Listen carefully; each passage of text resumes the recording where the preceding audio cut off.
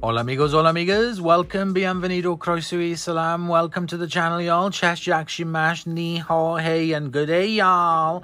So today we are going to be doing a trying to fix video as you saw from the description.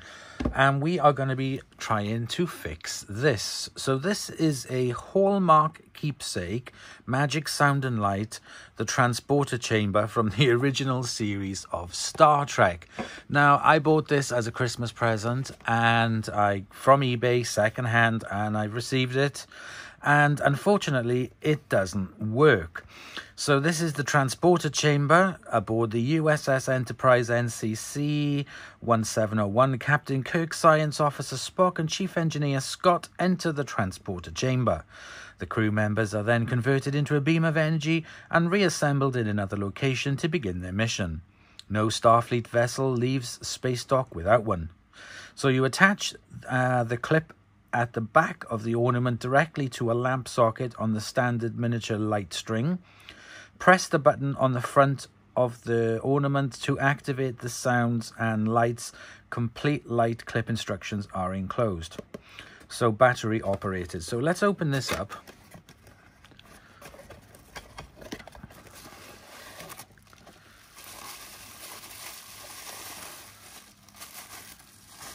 And let's bring you a little closer.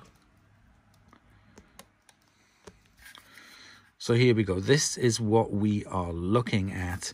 What you do is inside there, you know, the um, more old-fashioned um, Christmas lights, you poke one of them through there so it will always light up.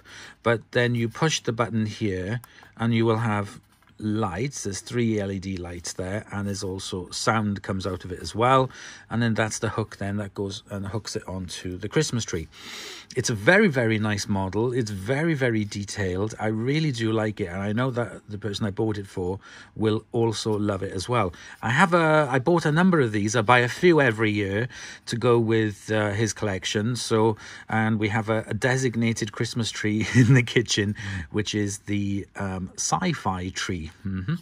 So underneath here is the compartment for the batteries. Now I can see that these are just ever so slightly kind of, they look a little bit corroded. I tried three batteries from the house and they didn't work. So let's hope, well not hope, but well you know what I mean. Otherwise this video isn't going to get shown if it works. So the batteries are in nothing. And I've tried wiggling the batteries and there is just nothing. Nothing at all.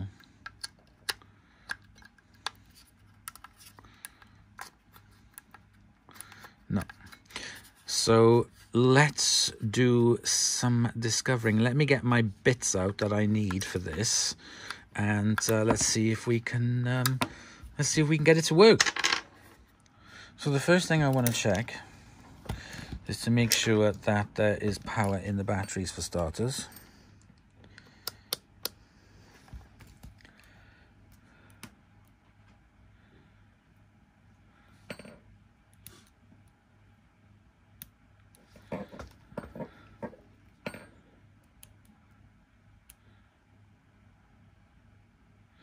Okay, so the batteries do work.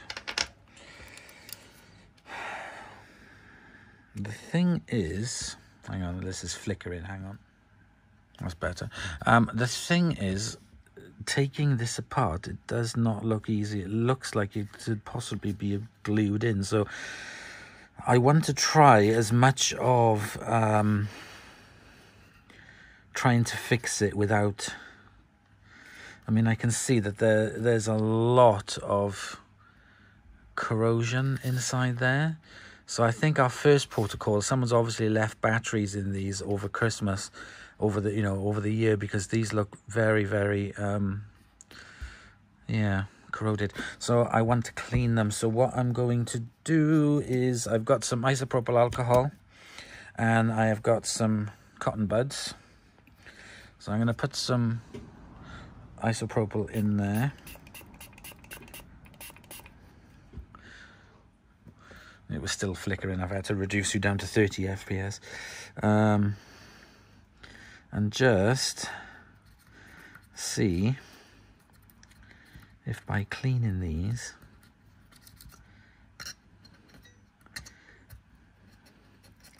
this one looks very badly corroded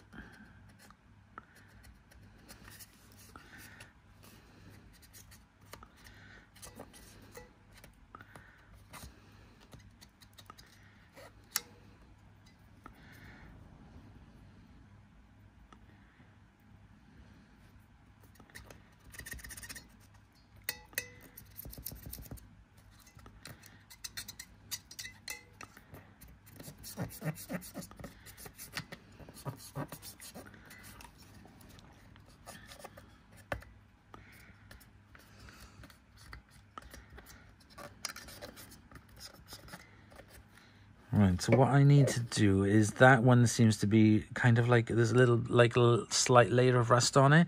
What I need to do is to rub it down. Uh, let me get my tongs. So I got some tongs and I've got a piece here of um, 240 sandpaper. so I'm just going to tear a little strip off. And I'm going to try and rub this clean.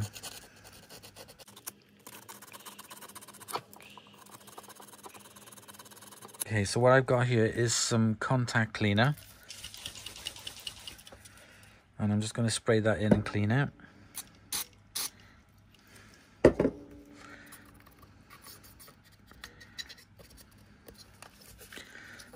On this one.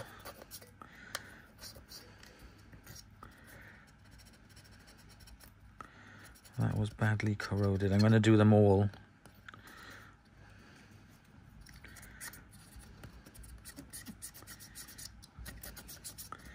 This stuff dries off pretty quick.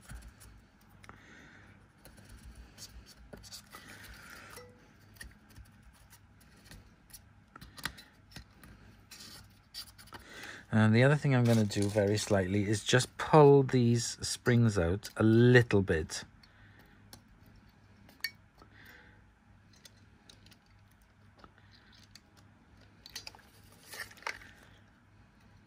on this one because this was the worst affected. You don't want to rub away too far at the metal, otherwise the um,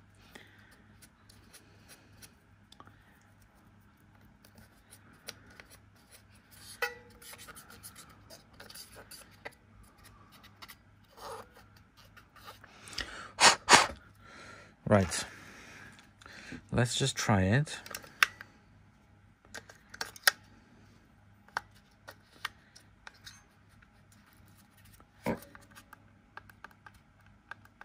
No, nothing.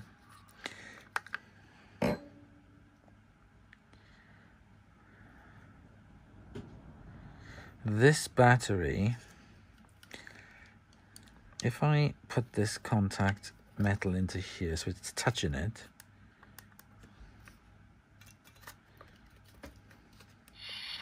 there.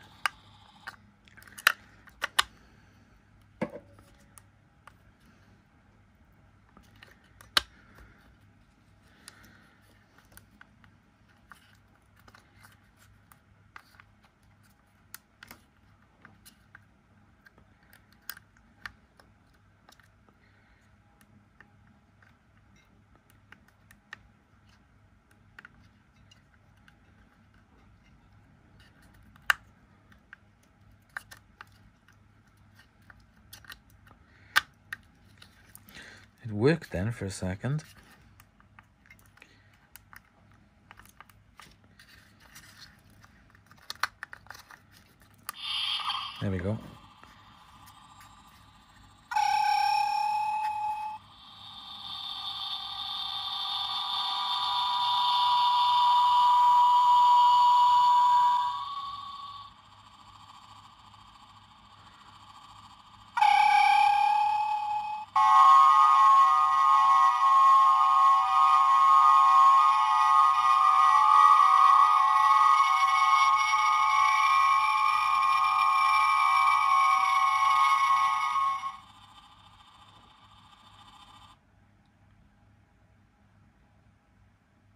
Oh, there we go. So that worked. So cleaning the contacts obviously worked.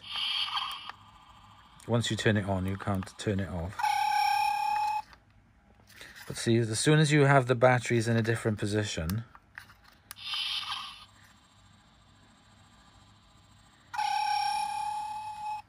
it's to do with the contact of this one.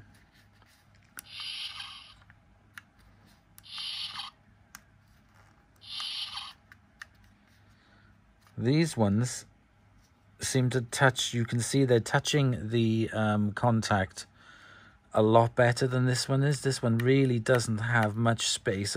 It's corroded quite a bit. I mean, it's working now. But the thing is, how long is it going to last? So what I need to do this one in here that you can see. Even though I've cleaned it up and it's made it a bit better it's still not quite touching the battery. So what I'm gonna have to do is if I put a spot of um, solder in there just to try and build that up a little bit it'll have better contact with the batteries now the other ones are fine, and when I look, when you look down on it, you can see it's not quite touching it. I mean, I, I, the thing is, I just don't want to have to sort of like completely strip this, take it apart, because I don't know how well it's going to go back together because it doesn't look. Oh, sugar cube. See what I mean? Wah, wah, wah. That was exactly what I was trying to avoid.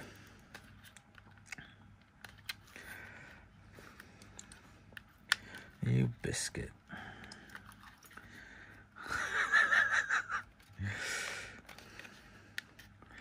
I don't really want to break it, and then I just broke it. Right, okay. leaving it. Don't touch it anymore.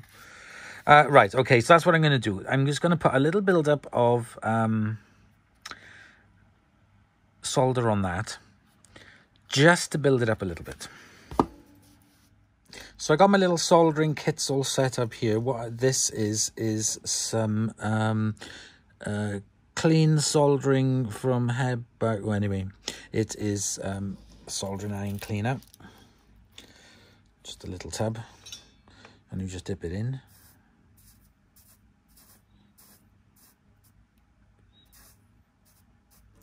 Wipe it off a new sponge. And then you have a nice clean tip. Nothing like a nice clean tip. Right okay. Oh, it smells horrible. Let's move you closer and let's uh, let's give it a go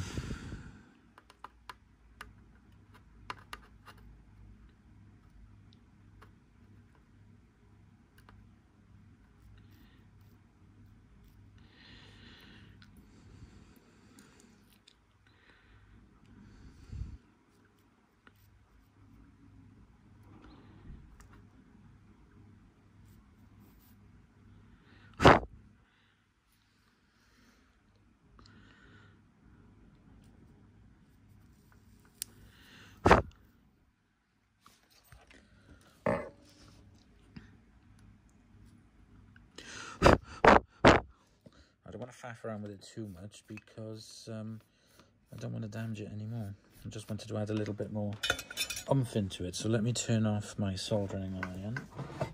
Okay, so that's cooled down. Let's give it a go. Let's put the batteries just in.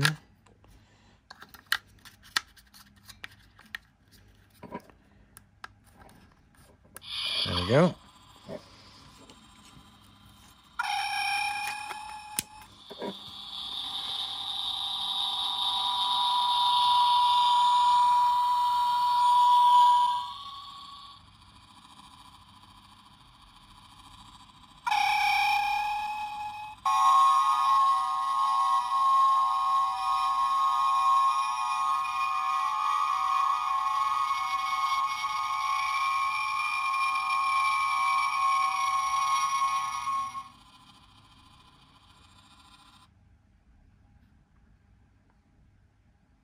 So there we go. Fantastic. It is now working. The other thing I did notice is that uh, Jim's leg is just coming out away from his boot a little bit. So what I'm going to do is put a tiny, and I mean a tiny little drop of this super, super glue onto his boot.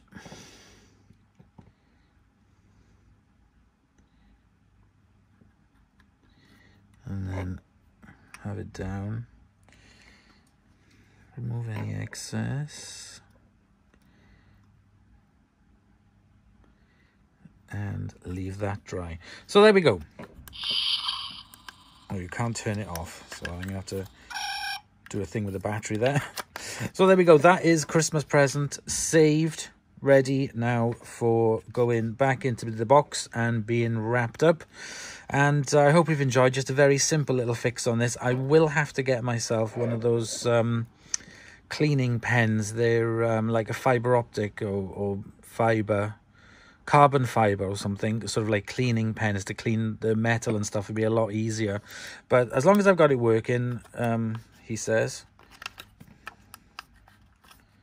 There we go. Still not 100%, but it's better than what it was. Now I need to turn it off. There we go. So there we go. Done, dusted. Not uh, an amazing fix. I am learning all about this kind of stuff and... Uh, trying to practice and everything with the soldering and um, how-tos and things. So I hope you've enjoyed it. So thank you very much. And on behalf of myself, beam me up, Scotty.